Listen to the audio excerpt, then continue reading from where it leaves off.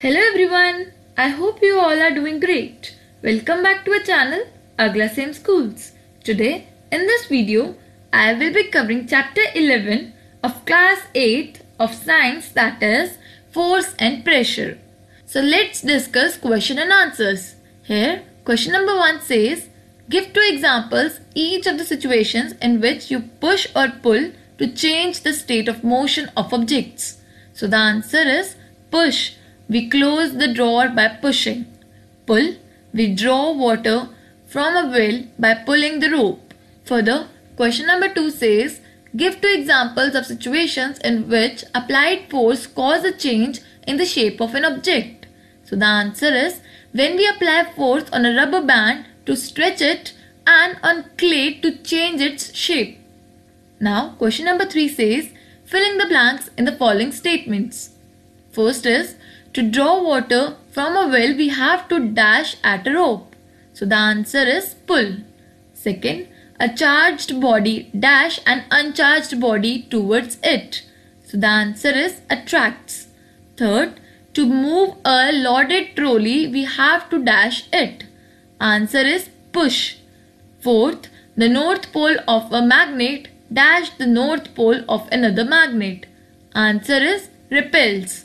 Now, Question number 4 says, an archer stretches her bow while taking aim at the target. She then releases the arrow, which begins to move towards the target.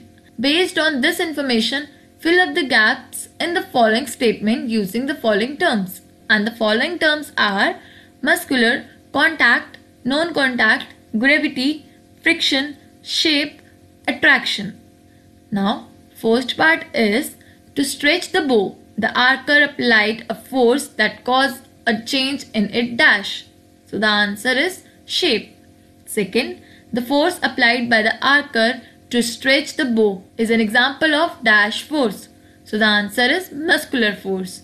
Third, the type of force responsible for a change in the state of motion of an arrow is an example of dash force. So the answer is contact force. Fourth, while the arrow moves towards its target, the force acting on it are due to dash and that due to dash of air.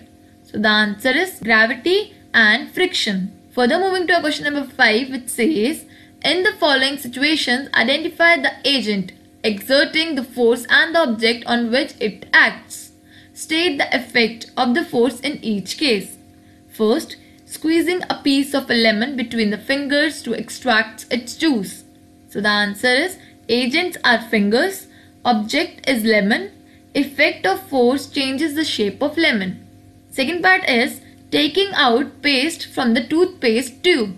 So the answer is agents are fingers of the person squeezing the tube.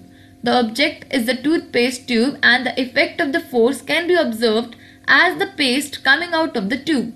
Now third part is a load suspended from a spring while its other end is on the hook fixed to the wall. So the answer is agent is the load suspended, object is the spring and efforts can be seen in the form of elongation of spring on suspension of load. Further moving to a D part which says an athlete making a high jump to clear the bar at the certain height. So the answer is agent is the muscle of the athlete. Object is the athlete himself and the effect of the force changes the state of motion of the athlete. Now, question number 6 says, a blacksmith hammers a hot piece of iron while making a tool. How does the force due to hammering affect the piece of iron? So the answer is, the force due to hammering causes the change in the shape of iron and iron can be molded the required tool. Further, question number 7 says, an inflated balloon was pressed against a wall after it had been rubbed with a piece of synthetic cloth. It was found that the balloon sticks to the wall. What force might be responsible for the attraction between the balloon and the wall? So the answer is electrostatic force. Further moving to a question number 8 which says name the forces acting on the plastic bucket containing water held above ground level in your hand. Discuss why the forces acting on the bucket do not bring a change in its state of motion. First, muscular force of arms acting upward. Second, force of gravity acting downward. Both the forces do not bring any change in the state of motion because both of them are acting in equal and opposite directions and thus they cancel each other's effect. Now, question number 9 says a rocket has been fired upward to launch a satellite in its orbit. Name the two forces acting on the rocket immediately after leaving the launching pad. So the answer is gravitational force of the earth that is downward and frictional force of air that is in opposite direction. Further, question number 10 says, when we press the bulb of a dropper with its nozzle kept in water, air in the dropper is seen to escape in the form of bubbles. Once we release the pressure on the bulb, water gets filled in the dropper. The rise of water in the dropper is due to first part is pressure of water, second gravity of the earth, third shape of rubber bulb, fourth atmospheric pressure. So the answer is fourth that is atmospheric pressure. So guys I have covered all the question of this chapter in this video. I hope you like this video and if you have any query or any doubt related to any of the question discussed please put your query in the comment section below. For more such NCERT solutions keep watching and do not forget to subscribe our channel Agla Sem Schools and do not forget to wear a mask and take good care of your health.